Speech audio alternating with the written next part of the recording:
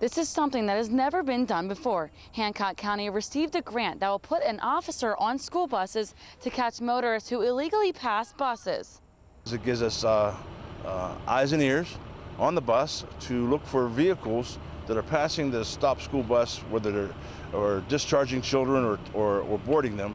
Sheriff Fletcher says it's something he has been wanting to do for a while. An officer on a school bus with a chase vehicle nearby to catch those motorists who break the law thanks to a grant that the county received. Last year, there were six accidents caused by motorists passing stopped buses. This year, the school board voted unanimously to put an end to this problem. There's nothing more important than our children.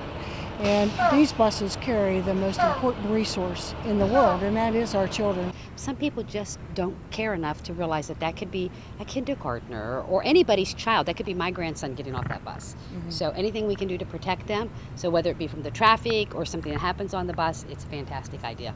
The days that officers are on the buses will be random and most likely on buses that travel along the most dangerous routes.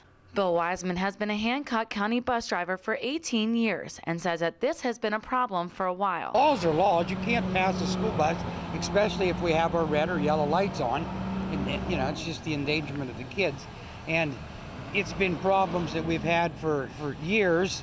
The county will also be providing bus drivers with radios so they can contact authorities directly. They've given us uh, several radios that we're installing in our police vehicles and uh, to uh, so we can have uh, better communication between the bus driver as well as the officer.